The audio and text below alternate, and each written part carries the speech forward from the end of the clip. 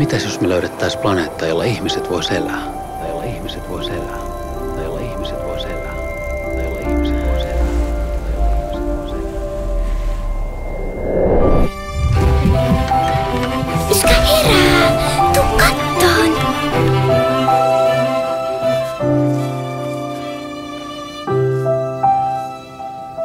Toi on se